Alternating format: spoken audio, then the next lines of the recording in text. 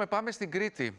Πάμε στην Κρήτη γιατί εκεί θα δοκιμάσουμε, έστω και νοερά, γνήσιες κριτικές ε, κατσούνες. Είναι τα, ε, τα κριτικά μπαστούνια ουσιαστικά και το θα δοκιμάσουμε βέβαια, τώρα το είπα φάνηκε σαν φαγητό, ε, φανεί καλαθάκι.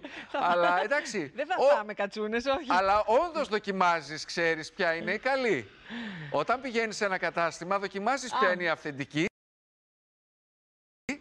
και ποια Σωστά, είναι η σωστά, μαϊμού; Σωστά. Έτσι. Και ποια σε βολεύει στο ύψος. Και Εγώ ποια τώρα σε έχω μια βολεύει πολύ στο ψηλή, ας Βεβαίως. Έχεις πάρα πολύ δίκιο λοιπόν. Χάρη καλημέρα από τα Ιτάνια στο Ηράκλειο. Από το σπίτι του κυρίου Γιάννη Σμυρνάκη, ο οποίος και είναι ο, ο καλλιτέχνης που φτιάχνει αυτές τις κατσούνες που κρατάω εγώ εδώ και έχουν και πολύ ωραία σχήματα πάνω. Ε, ο οποίος ο ίδιος είναι κοφός από πάρα πολύ μικρός και θα μας μιλήσει ο γιος του για τη δουλειά που κάνει ο πατέρας του, ο κύριος Μάρκος Σμυρνάκης. Καλημέρα σας Καλημέρα. ε, κύριε Χάρη. Καλή σας Ευχαριστώ για ημέρα. την πρόσκληση. Εγώ λοιπόν ο γιος ε, του Γιάννη θα μιλήσω και ο πατέρας μου θα μας δείξει κάποια πράγματα για τις κατσούνες. Και ένα σχόλιο μόνο, σίγουρα δεν είναι καλό να φάμε κατσούνα. θα Εννοείται. πονέσει. Και μην Εννοείται. φάμε ξυλιά, εννοείς. ε. Φιλιά, σωστά. Ε, ναι, αυτό κατάλαβα κι Λοιπόν, εγώ. οι κατσούνες που Ε, ε, φτιάχνονται μισό λεπτό εδώ- όμως, μισό λεπτό, μια, μια που το θέσατε, μια που το θέσατε. Είμαι σίγουρος, είμαι σίγουρος ότι ο μπαμπάς σας, στην εποχή του, που Ναι. οι παιδαγωγικές πρακτικές ήταν ε, εντελώς απαρχαιωμένες, σίγουρα έφαγε κατσούνα. Σίγουρα, σίγουρα έχει παίξει το ρόλο της για την επιμόρφωσή του. Έτσι, έτσι. Όλα Αλλά αυτά τις τώρα αγάπησε. ποτέ ξανά. Όλα αυτά τις αγάπησε και τις κατασκευάζει. Χάρη, η ιστορία πίσω από αυτό είναι ότι στην περίοδο της κρίσης ο μπαμπάς σου ξεκίνησε να Σωστά. φτιάχνει κατσούνες. Ήταν οικοδόμος στο επάγγελμα. Ήταν οικοδόμος, όταν λοιπόν σταμάτησε η οικοδομή, ξεκίνησε να κάνει στον ελεύθερό του χρόνο κατσούνες. Ε, και κάπως έτσι μετά εγώ σκέφτηκα ότι θα ήταν ένας ωραίος τρόπος να τις προωθήσω διαδικτυακά. Θα παρακαλέσω τον οπαρατέρ μας, τον Κυριάκο τον Περατσάκη, να μας δείξει λίγο ε, το πώς γίνεται αυτή η κούρμπα, γιατί αυτό φτιάχνει τώρα ο κύριος Γιάννης, το πώς γίνεται ε, αυτή η λαβή δηλαδή. Είναι πάρα πολύ εντυπωσιακό το πώς γυρνάει το ξύλο, γιατί όλοι ξέρουμε τη μορφή του ξύλου πόσο σκληρό είναι.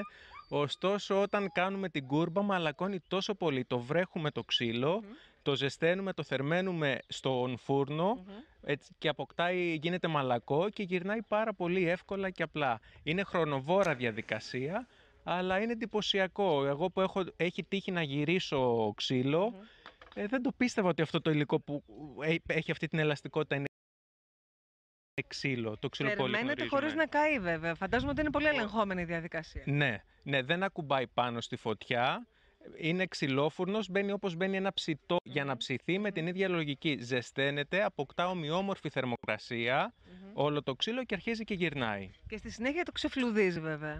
Σωστά. Αφού κάνει την κούρμπα, το οποίο είναι το πιο δύσκολο κομμάτι, στην κατσούνα αρχίζει μετά και το καίει με, την, με τον ίδιο τρόπο, ζεσταίνει τον κορμό του ξύλου και αρχίζει και το ξεφλουδίζει. Τώρα, ξέρετε τι... Τι ξύλα χρησιμοποιεί, από ποια δέντρα; Ναι. Ναι, ναι, όχι, ο- ρώτησε, Φανή, ρώτησε εσύ πρώτα. Ε, ναι. Ωραία, να πω τα ξύλα λοιπόν. Τα ξύλα που κυρίως έχουμε είναι πρίνος, αστήρα, κασκίνος και σικιά. Ε, συνήθως αυτά είναι τα ξύλα τα οποία καθαρι- κάνουμε καθαρισμούς εδώ στην περιοχή μας και από, από τους καθαρισμούς βρίσκουμε τα ξυλα Ε, ο- το πιο γερό για μας είναι ο πρίνος. Και μουριά νομίζω ότι χρησιμοποιεί. Και, και μουριά, πολύ σωστά, ναι, το παράληψή μου. Λοιπόν, κάθε ξύλο χάρη δίνει μια διαφορετική κατσούνα. Έτσι. Είναι κάθε κομμάτι μοναδικό. Και αν το ξύλο ευνοεί, μπορεί να κάνει και σχέδια, όπως αυτά που σας έδειξα και πριν από λίγο. Ένα κεφάλι φιδιού και διάφορα άλλα που έχει. Το πιο εντυπωσιακό νομίζω που μπορεί να κάνει είναι η πλεξούδα που κάνει στις κατσούνες. Το πώς ε, μπλέκει γύρω-γύρω το κάτω μέρος της κατσούνας. Είναι δύο κλαδιά ουσιαστικά τα οποία τα μαλακώνει και τα γυρνάει και γίνεται η πλεξούδα. Είναι πάρα πολύ εντυπωσιακό. Τώρα, εμένα Και ξέρετε φυσικά τι μου κάθε προκαλεί ξύλο είναι μεγάλη αυτό που θα εντύπωση. ορίσει. Πόσο να το αποτιμήσεις αυτό και να το κοστολογήσεις οικονομικά α, και να το πολι... πωλήσεις όταν όλη αυτή η προετοιμασία και όλη αυτή η διαδικασία είναι μια επίπονη, μια επίπονη πρακτική.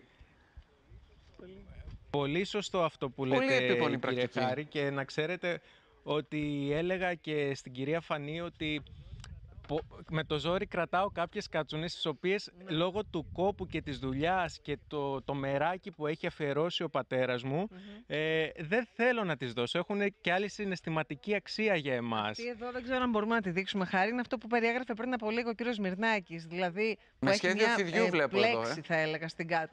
Ναι. Σχέδιο φιδιού, αλλά Λίγο το να κάτω πλησιάσει η μέρος, κάμερα αν μπορούμε να επάνω. δούμε, έχει μια... Είναι πολύ Ναι, ναι, να κάνει εντυπωσιακό ένα το zoom. πάνω Είναι μέρος. Και το κάτω. βέβαια. Κλεγμένο. Μμμ. Ναι. Ναι. Και το κάτω. Είναι μια πολύ ωραία κατσούνα. Λοιπόν, Μάλιστα. ο, ο, ο γιος του λοιπόν, του κυρίου Γιάννη, έχει φτιάξει ένα site και πουλάει σε όλη την Ελλάδα τις κατσούνες, ε, τις ε, κριτικές, που βέβαια Μάλιστα. υπάρχουν σε διάφορες εκδοχές παντού. Παντού υπάρχει η γνω- η γνωστή γκλίτσα σε όλη την Ελλάδα. Αλλά εγώ ήθελα να επικοινωνήσω το κατσούνες. Και πολύ καλά Έκανα το κάνετε. κατσούνι Δεν μου GR λέτε για να και δείχνω τις ολοκληρώνουμε με κατσούνες αυτό. μου.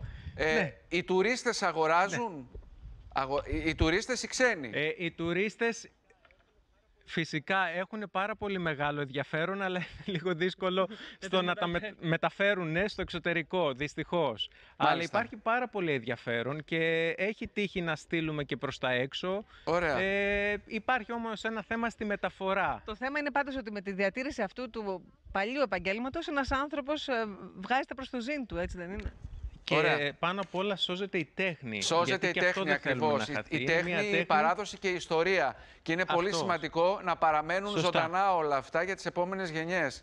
Σας ευχαριστούμε πολύ. Να είστε Σωστά, καλά. σωστά. Καλό καλοκαίρι. Ευχαριστούμε Καλή και εμείς. επιτυχία. Ευχαριστούμε.